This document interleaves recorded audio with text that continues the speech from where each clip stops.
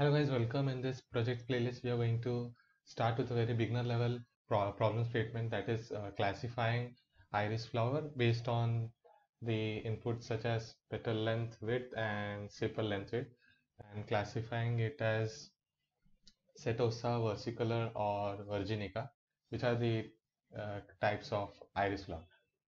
Okay, the very first step is loading the dataset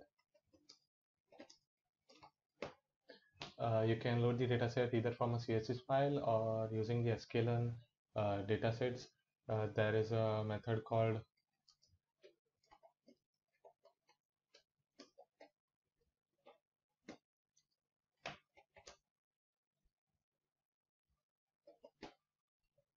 load iris which contains the uh, iris flower dataset. You can store the dataset uh, into a variable named dataset. If you want to display it,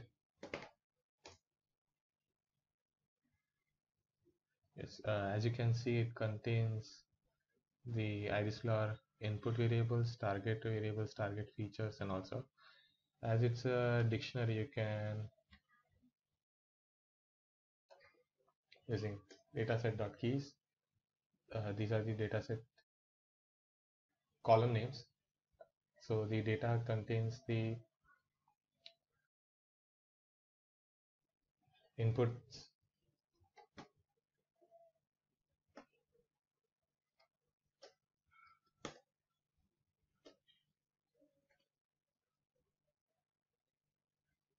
and the output is present in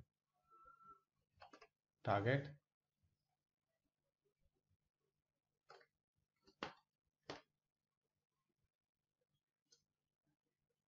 if you want to display the inputs. Yes these are the sepal length sepal width petal length petal width and the outputs is the 0 1 2 which specifies uh, the all three classifications of iris flower that is uh, setosa versicolor and virginica. So second step is splitting the data data to train and test sets. To do so, we need to import sklearn dot uh, model selection as md. So md dot uh, train test split method which uh, needs parameters of input output and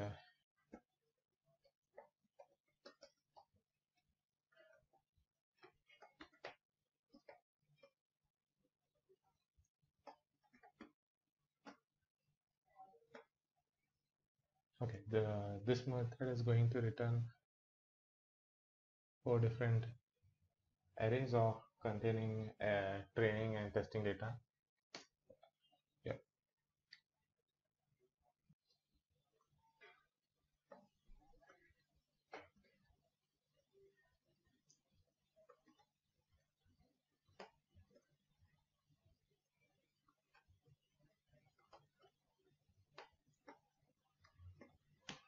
okay. After saving this splitted data uh, next step is to select the model.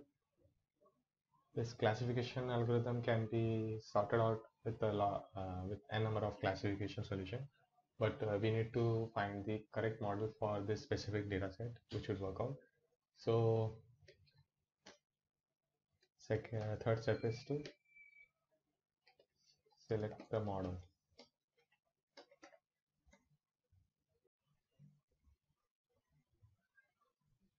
Uh, to do so, I have already written a set of models. Yes, uh, herein what I had done is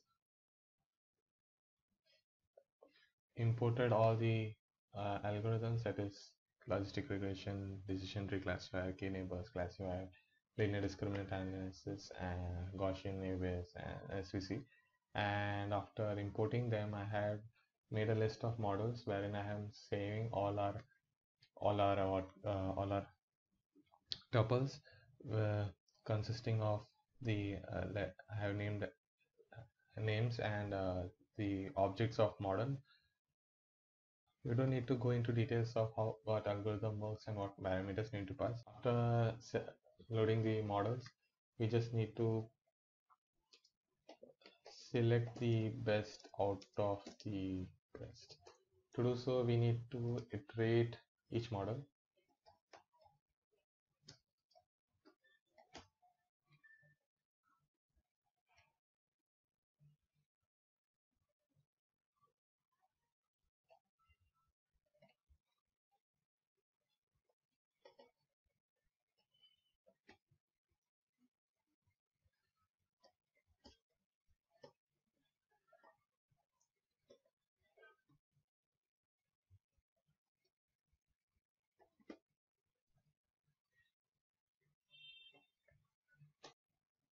Yes, uh, what are we going to do is using this uh, k-fold object, what this k-fold object is doing is split our data into 10 equal parts and uh, this parameter random state, uh, we can pass any integer values. That means that for every iteration, the uh, we are not going to randomly select uh, the data set.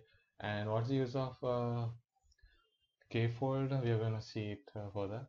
Herein, we are going to use cross val score method provided by sklearn. Herein we need to pass the model object and uh, the training parameters. Then comes our cross validation algorithm. We are going to use this k-fold. Then scoring that you are going to use is accuracy.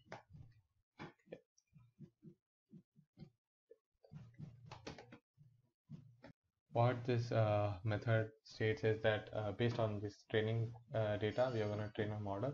And this what a k-fold algorithm is going to do is k-fold is uh, going to do is uh, split our data into 10 equal parts and uh, equal parts and the first equally distributed path would be used as um, used as the validation data set and rest k minus 1 data set would be used as training data.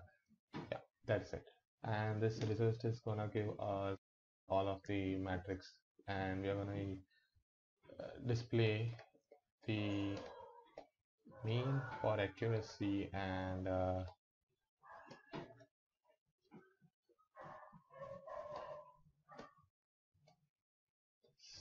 standard deviation to know the error how it deviates from the mean so we need to know which one which is. So we're going to display the name as well.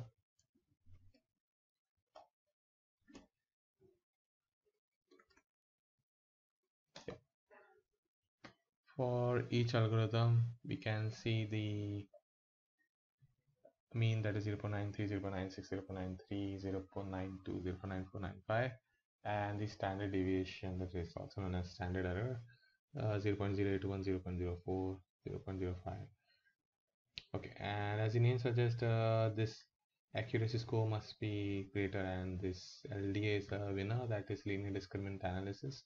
And this also has the also has the standard error the least of 0.04 so we are gonna set the linear discriminant analysis for this iris data dataset uh, the work is not still completed. Now what we are going to do is predict our test data. So to do so, we need to create a object for linear discriminant analysis.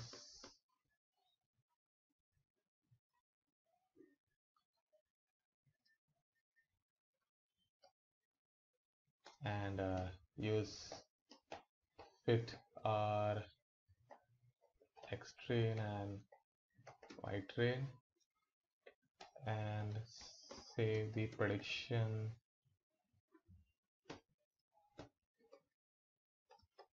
Of our X test into prediction. And then we need to compare our prediction with Y test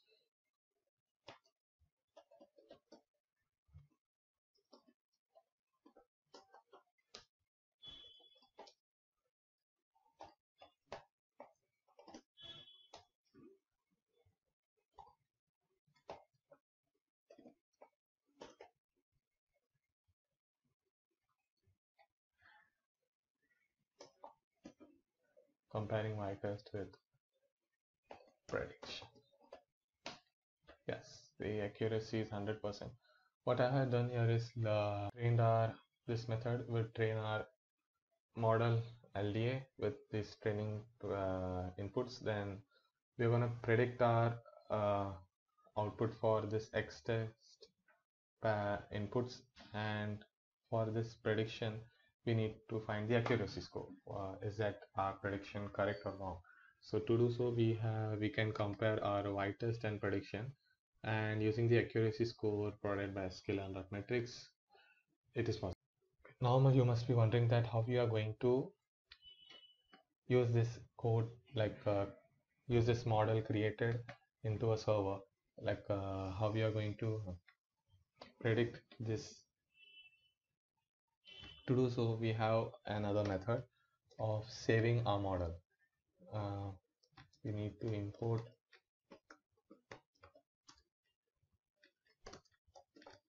joblib. What it does is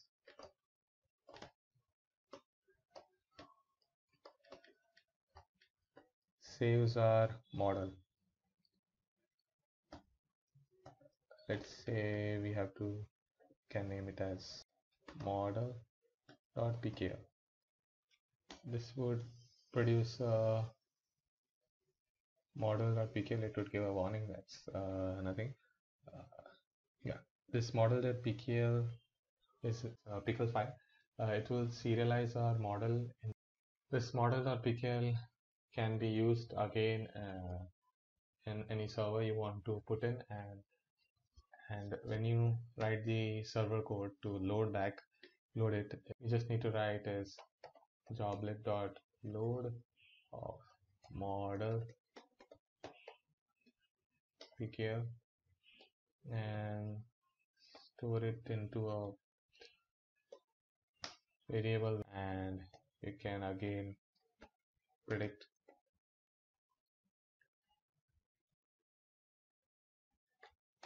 the output.